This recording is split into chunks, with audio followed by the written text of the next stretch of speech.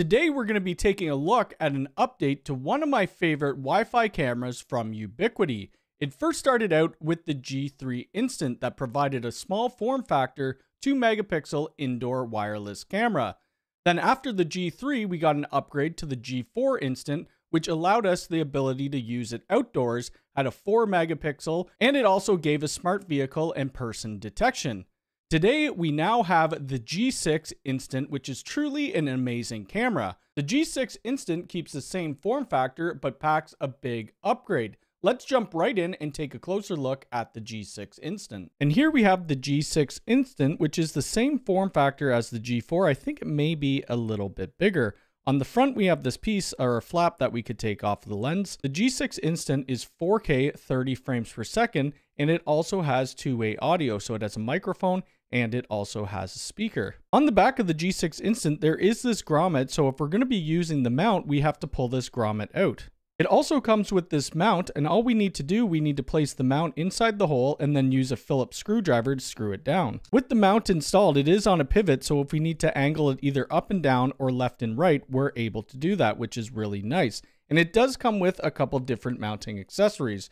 So we have this bracket that we would actually screw into the wall, and it comes with sticky pads, which I'll be using just temporarily for the front of my house to get some footage of the G6 Instant. Just like the G4 Instant, this is weather rated, so we could have it outside, and there's this flap here that we need to bring up to give us our connection down into our power. One other new thing that you're going to see is there's an SD card slot, and this would be used for edge recording and then we have our reset button. Now that we've seen what the G6 Instant looks like, let's get it into our UniFi Protect application using AutoLink. I'm going to click on Protect, and after a second, the G6 Instant should pop up, and we see it right here. The distance is near and we are using Bluetooth connectivity and the camera actually tells you that the camera has been set up and it is ready to stream. So if we look down below under UniFi Protect, we should be able to see it. And there we go. Right on the bottom, you could see it. You could see me a little bit and my gaming headset. What I'm going to do with this camera, I'm going to put it at my front door so it captures some faces. It may be able to capture some license plates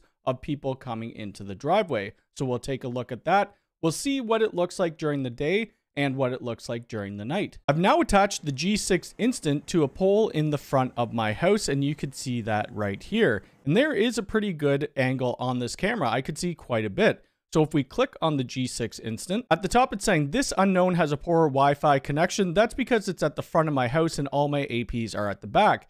If I was keeping it here permanently, I would add another access point closer to my door. Right on this page, it tells us quite a bit. It's going to tell us our status and our connection, which is currently poor because we're getting a signal of minus 72 dBm. But it'll also tell you the model, device, IP address, and MAC address. That's pretty standard for most of their devices. At the bottom, we could see the Edge recording, which we would put an SD card in. I don't have an SD card in here, but it works the same as like the AI turret. Let's take a look at our recording settings. We have our recording manager, which would allow us to manage multiple cameras at one time, and then we have our recording options. So we could have this set to do always, which is 24 7. We could have it on a custom schedule, or we could have it never recording. We also have our recording mode, so either continuous or events only. If we click on events only, it would just do whatever events that we have selected under the video detections and the audio. Below that, we have the create motion events, which I have deselected because I don't care about that as I'm using the AI events. And under our AI events, this is where the differences between the G4 instant and the G6 instant happen. We have animal detection, we have face and license plate detection, which the G4 instant never had. It had person, vehicle, and it had animal. So that is a big upgrade, especially if you're looking for facial recognition and LPR. Another big difference is under our recording resolution. This camera could do 4K where the G4 could only do 2K and it is quite a crisp looking camera and we'll take a look at that in a second. We'd also do our motion zones, our smart detection zones, crossing line, and we could do the privacy blackouts. I may do a crossing line eventually just to see how many people come up to my door. This is the view from the G6 Instant where I currently have it positioned so it's on my driveway and we could actually see the road. So when people are pulling their cars in, we're going to capture their license plate and when people walk on my driveway, we're going to capture their face. We can also do some other options by clicking on the settings. This is going to allow us to do image tuning as well as motion zones and our smart zones.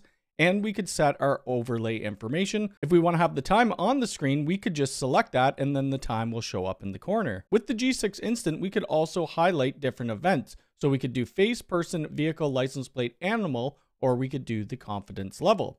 Now, I don't have a G4 instant to test between the G6 and the G4, but Clay over at DPC Technology I'm sure does, so I will leave a link to his channel down below. I've had this camera up probably about a week, so let's see how many license plates it's captured as well as how many faces. So I'm going to go over to all events, but we're only selecting the G6 instant. From here, we're going to go to person, but we're going to select face detection. As you can see, it did pick up my face quite a bit as well as people who were delivering stuff to my front door, and this was fairly accurate. We could see that a couple times it didn't recognize that it was me, but I could merge those faces together. For license plate recognition, it did pick up a lot of the cars, and I would say it was about 75% accurate. The positioning of this camera isn't that great for the LPR, but every time I went into my driveway, it did recognize my car as well as my brother's truck. So that's fairly good, especially that this is just sitting at my front door. We're now going to take a look at the clip from the nighttime and it is 11:29 in the evening. I'm going to press play and you could see people walking from the right hand side. It is pretty good. You could tell their features. It would be nicer if they were a little bit closer to the camera, but I don't think this night vision is too bad. In saying that, my street is very bright, so if you live out in the country, it may look a little bit different. And that's going to be it for my video on the G6 Instant, and I really do like this camera. I used to use the G4 instance for indoor when we went away to watch our cats, which you could see here. The upgrades with it being 4K, also doing face and license plate recognition is a huge bonus, and I think it's well worth the cost. If you have any questions, leave it in the comments below. If you like this video, hit the thumbs up button. If you're new here, please subscribe and hit the bell icon. All right, thanks.